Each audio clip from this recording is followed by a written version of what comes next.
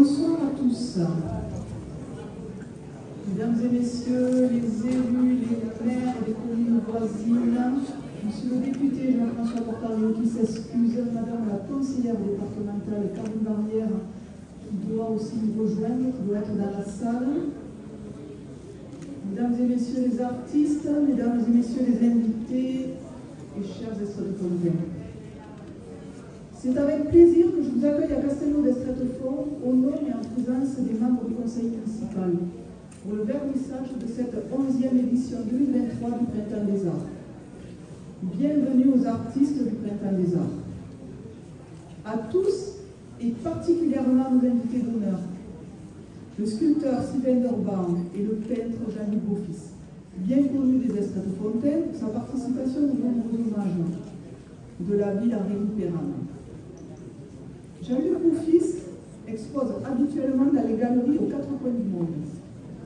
Il expose exceptionnellement au salon avec l'aimable autorisation de Jean-Paul Souriant.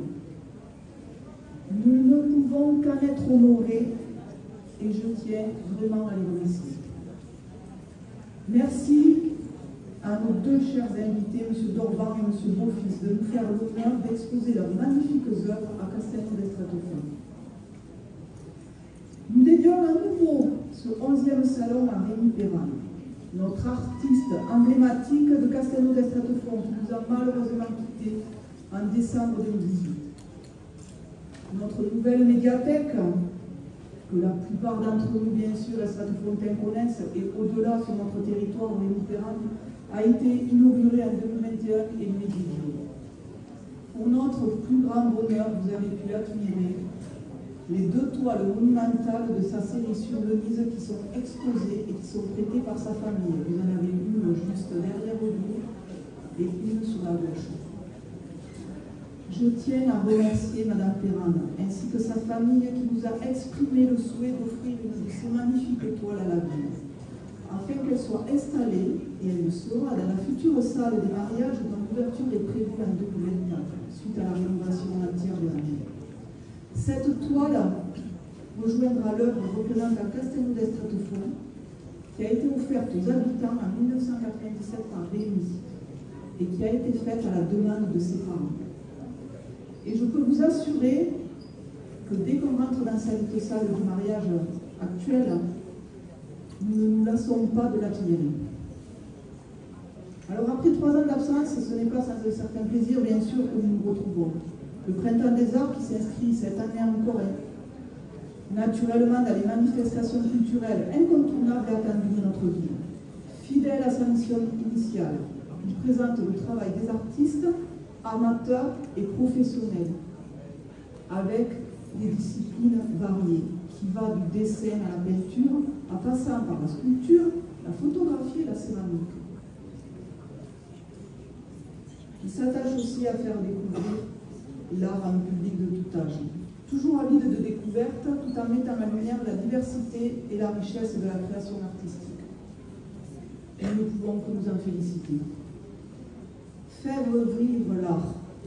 Durant une semaine, l'art sera partout à Castelnau d'Estratefort. Ici même, bien sûr, avec ce que vous pouvez admirer ce soir et pendant une semaine, mais également à l'extérieur, avec les dessins de ceux qui le souhaitent.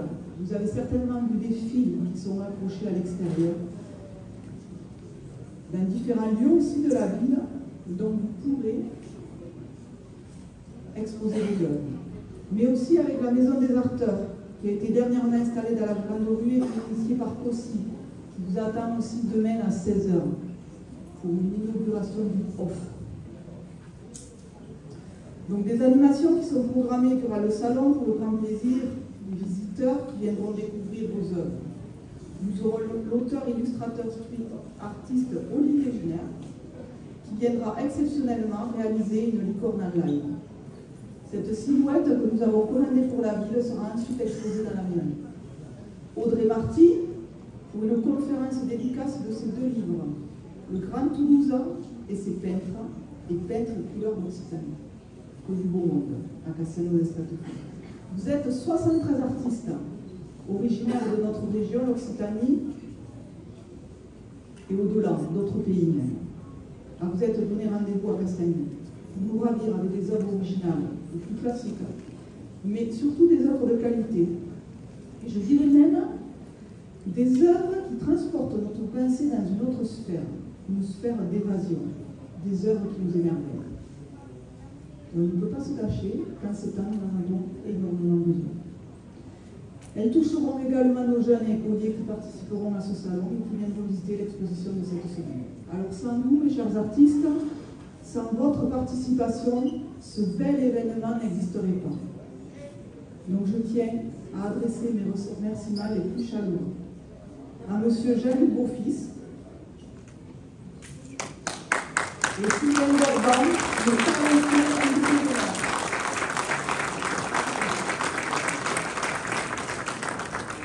À Jean-Paul Souriant, qui a gentiment ouvert sa galerie d'art éphémère à Castelnau, en permettant à nous tous d'avoir le privilège d'admirer les œuvres de Jean-Luc Beaufils, que nous apprécions particulièrement. Est-ce qu'il est là, monsieur? Souriant Non, pas encore. Il a bientôt arrivé. À la famille de Rémi Perrin, et particulièrement à vous, pour nous offrir le privilège d'admirer encore les œuvres de Rémi à l'artiste Olivier Giner, le photographe Jean Lefranc et la sculptrice Coralie Toyer. Un remerciement aussi à l'École des Sciences et à tous nos partenaires pour leur participation à ce 11e printemps des arts. Je remercie également les jeunes de Castelnau pour leur participation cette année à ce printemps des arts. Et également, bien sûr, l'adjointe à la culture Muriel Tornos, qui tient à nous offrir des rendez-vous culturels de grande qualité à Castelnau d'Estretefan. Merci beaucoup, Muriel.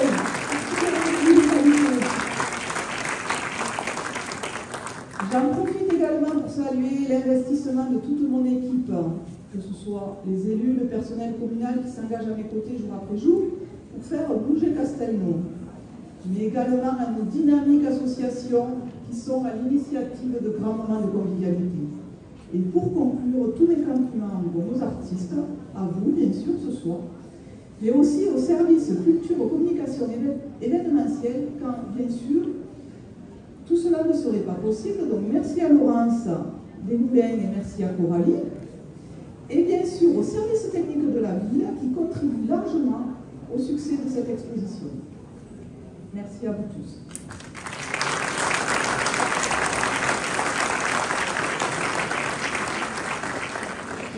Et alors, avant de laisser maintenant la parole à Madame Muriel Tournos, Mesdames et Messieurs, je déclare officiellement ouvert ce 11e printemps des arts. Merci à vous.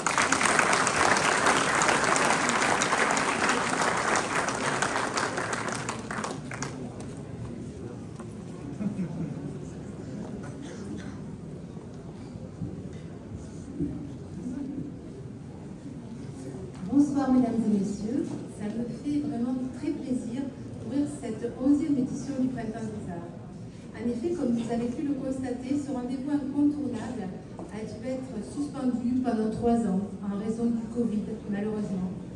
Et c'est avec une joie immense que nous voyons refleurir l'art sous diverses formes pendant une semaine. Je ne peux m'empêcher, en ouvrant ce printemps des arts, d'avoir une pensée émue pour euh, Daniel Dupuis, notre mère regrettée qui nous a quittés au mois de janvier. Fervent défenseur de la culture sous toutes ses formes, il a toujours initié des projets forts dans sa politique culturelle. Continuons donc sur le chemin qu'il a tracé. Par l'importance de cette exposition, notre ambition est de participer au rayonnement culturel du territoire. Donc notre invité cette année dans la catégorie artiste peintre n'est autre que monsieur, vous l'avez compris, Jean-Luc Beaufils, dernier représentant de l'art moderne, et nous avons la chance de pouvoir exposer ces toiles qui d'ordinaire ne s'admirent que dans des galeries, aux côtés de Raoul Dufy, César ou encore Bernard Buffet. Et ce talentueux coloriste associe les formes pour créer, vous voyez, une atmosphère révélatrice de vie, de lumière et de personnalité. Ces toiles s'exposent de Paris à New York, et je le remercie chaleureusement d'avoir accepté notre invitation. C'est un privilège pour notre ville de pouvoir exposer le temps d'une semaine ces toiles de renommée internationale. Dans la catégorie sculpteur,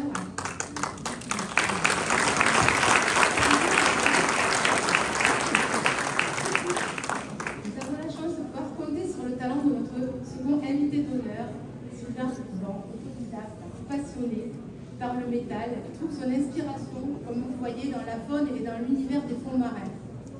Une invitation à plonger avec lui au milieu des poissons, de fils d'acier et de métal fusionné qui vous entraînera dans son univers onirique des profondeurs sous-marines. Je vous demande maintenant de les applaudir parce que vous faites...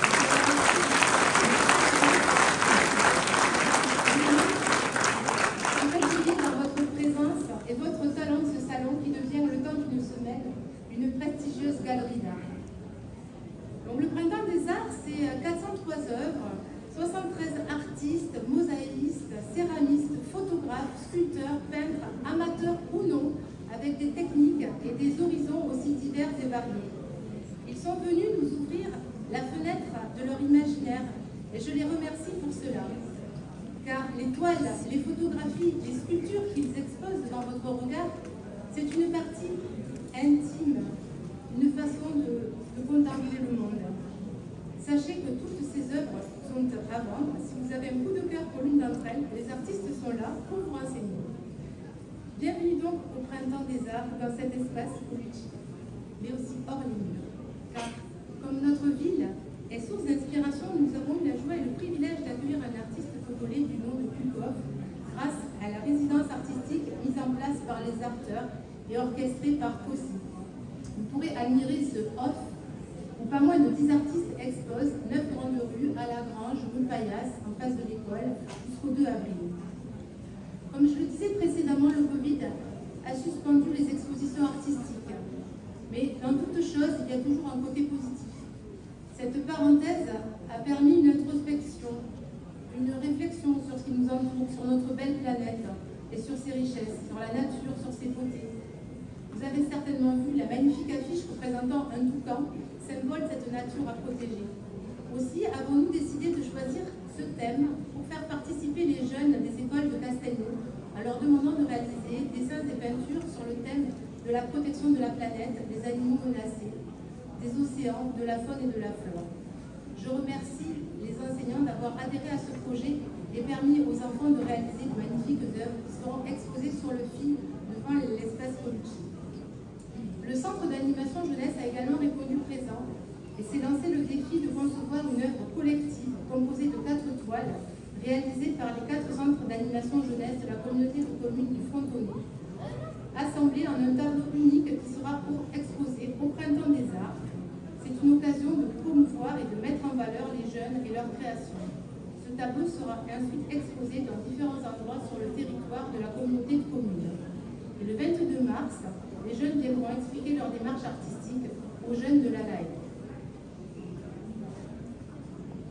Une exposition, certes, mais aussi des animations vous attendent. Le 20 mars, l'école d'essence, que je remercie pour son implication, délocalise deux cours d'art plastique et de dessin dans le hall de l'espace Colucci. Le 22 mars, notre artiste coup de cœur, Olivier Giner, auteur illustrateur street artiste, nous fera l'honneur de réaliser en direct, devant les jeunes de la LAE, une licorne. Et oui, la magie est partout lors de ce printemps des arts. Le 25 mars, une conférence efficace sera proposée ici même par Audrey Marty, auteur de livres sur les peintres toulousains et sur la couleur. Et le 25 mars aussi, 17h, aura lieu la remise des prix du public. Vous avez tous voté, j'imagine, dans l'urne à l'entrée, pour élire votre artiste et votre œuvre coup de cœur. Cette année, pour la première fois, un prix Rémi Ferran va être remis. Nous avons en effet dédié ce 11e printemps des arts à ce grand peintre de Castelnau, dont la médiathèque porte le nom. Comme Madame le maire vous le disait, c'est deux grandes et magnifiques toiles de dont l'une offerte à la ville par sa famille, sont exposées pour notre plus grand bonheur. Nous en sommes très honorés.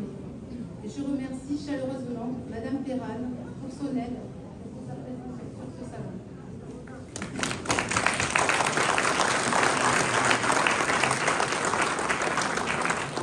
Ce salon des arts ne serait pas aussi magnifique sans le travail des service technique sans qui, vous le savez, rien ne serait possible. Donc, merci à M. Guston, à M. Petruski, à M. Badi et à M. Pierre. Merci.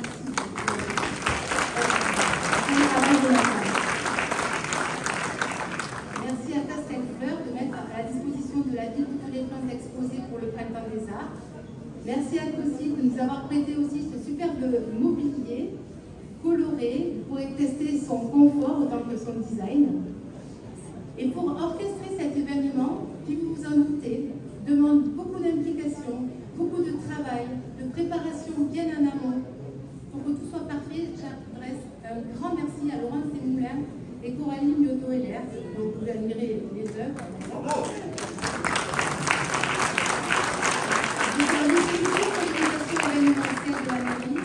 Et je pense que tous les artistes aujourd'hui pourront témoigner de cette belle organisation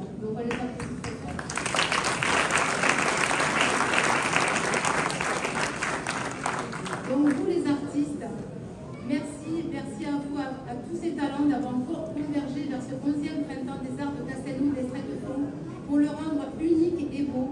Comme le disait Bob Dylan, le but de l'art est d'arrêter le temps. Je vous invite donc dans cette parenthèse de temps suspendu à prendre du plaisir par la contemplation pendant une semaine ici, dans cette grande galerie d'art de notre ville de Castelnau. Et maintenant, nous allons procéder à la remise des prix et nous partagerons ensuite un moment de convivialité. Je vous remercie pour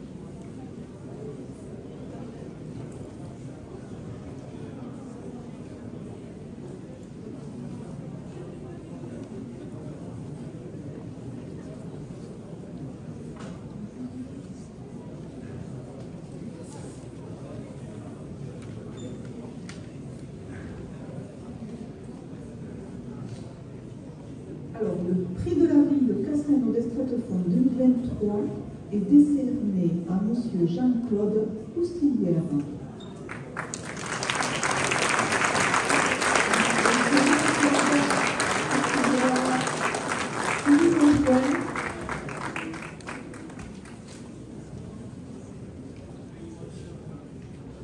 Alors bonsoir monsieur. Donc ce prix de la ville vous est décerné pour l'ensemble de votre œuvre qui présente donc de très belles aquarelles.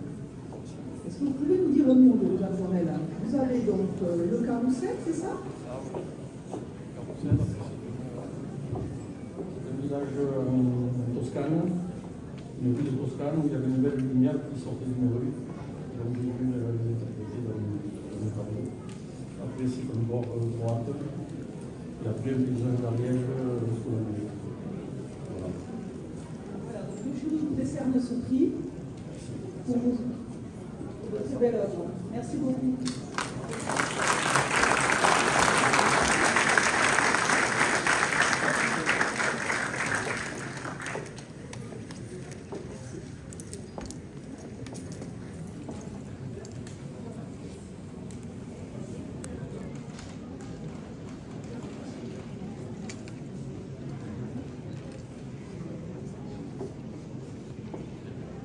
Remettre le premier prix du Printemps des Arts, j'appelle M. Vincent Doussard, premier maire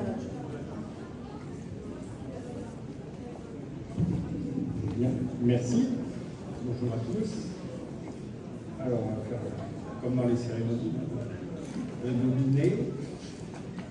Alors, le premier prix euh, du Printemps des Arts 2023 est décerné donc à Michael Régent, qui est sculpteur sur terre.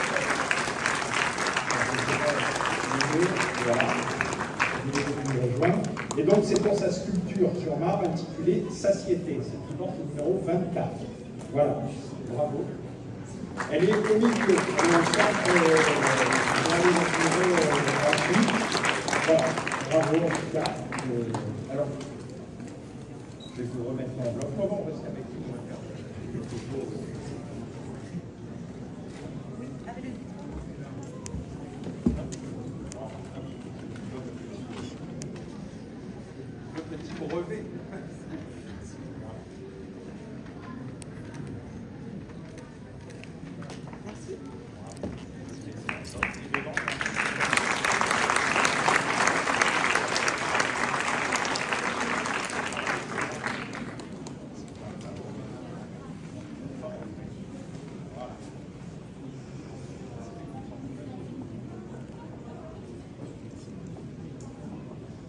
Comme je vous le disais, cette année, pour la première fois, il y a un prix Rémi Perran, et donc j'appelle Christiane Perran pour remettre ce prix.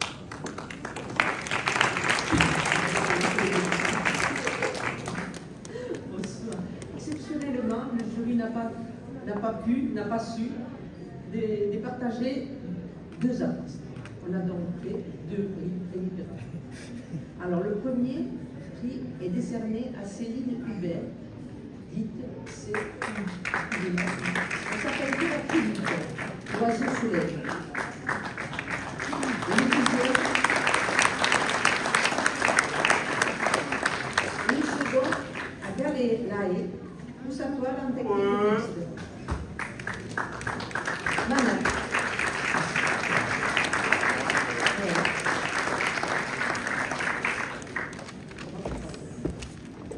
Alors.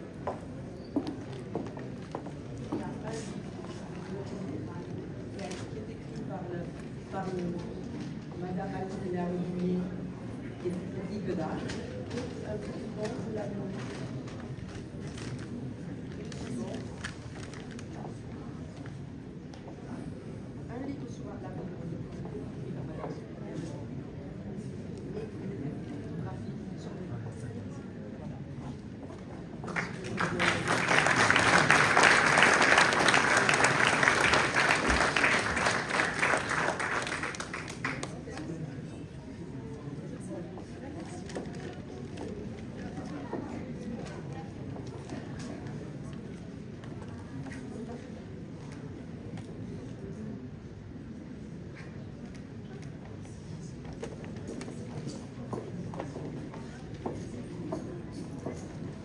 Et enfin, pour remettre euh, le prix coup de cœur du jury, notre invité d'honneur, Sylvain.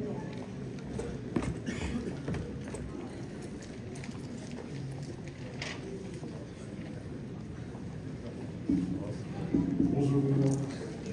Alors, le prix coup de cœur du jury 2023 est décerné à Anne Johanna pour Albi Le Tarn. C'est une mise sur toile.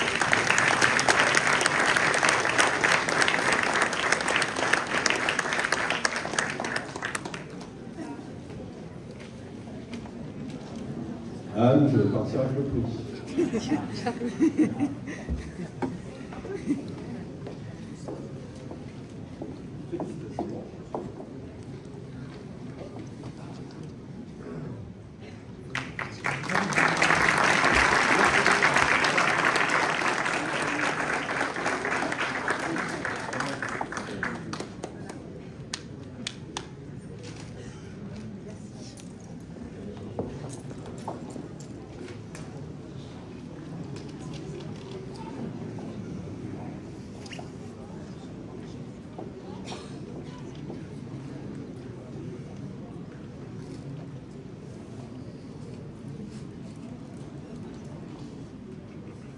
Je voudrais adresser euh, un remerciement à vous tous. Euh, merci d'être venus si nombreux sur ce Printemps des Arts. Et, euh, je voudrais remettre ce prix. Comme euh, ce Printemps des Arts est dédié à Rémi Béral.